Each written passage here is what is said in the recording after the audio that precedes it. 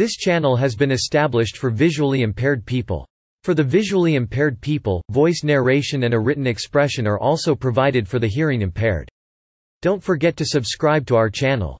Source Filmmaker abbreviated as SFM is a video capture and editing application that works from inside the Source game engine The tool, created by Valve Corporation, was used to create over 50 animated shorts for its Source games, including Team Fortress 2, the Left 4 Dead series, and Half-Life 2 on June 27, 2012. Valve released a free open beta version of the SFM to the gaming community via its Steam service Contents 1 Overview 2 Production and Updates 21 Pre-release 22 Beta beta versions 3c also 4 references 5 external links overview Unlike most movie-making tools, which only create a small part of a movie, the Source Filmmaker merges all animation and effect workflows onto a single PC with SFM. One can create movies and posters by using assets and events from the video game world, providing creators with a what you see is what you get environment.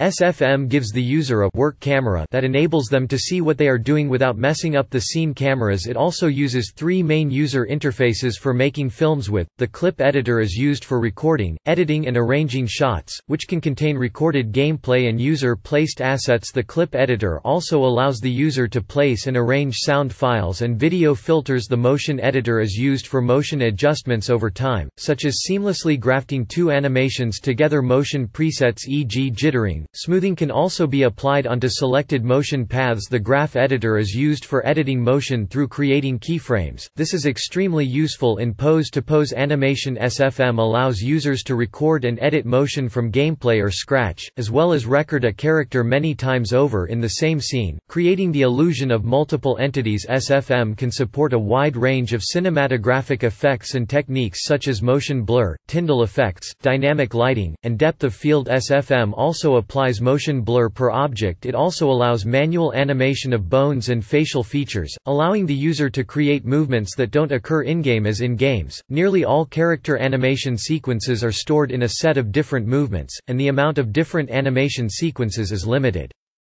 Production and updates pre-release SFM was developed internally at Valve from as early as 2005, forked from the Source Engine's in-game demo playback tool and used to make Day of Defeat, Source trailers with experimental effects that could not be achieved in real time. The tool's full potential was finally realized with the release of the Orange Box, particularly with the Meet the Team featurettes for Team Fortress 2 this version of SFM, which ran using Source's in-game tools framework, was inadvertently leaked during the public beta of TF2 in in September 2007 and in use by 2010 since then, the entire interface was re-implemented using Qt4, and given its own engine branch for further development before the SFM's official release to the public. Team Fortress 2 carried a simplified version of the tool called the Replay Editor. It is limited to capturing the actual events occurring over the course of a player's life with no ability to modify actions, repeat segments, nor apply special effects beyond those already used in-game however, arbitrary camera angles angles are possible, like tracking the actions of other players in action at the time replay incorporates the ability to upload completed videos to YouTube beta versions on June 27, 2012, the same day as the final Meet the Team video, Meet the Pyro, was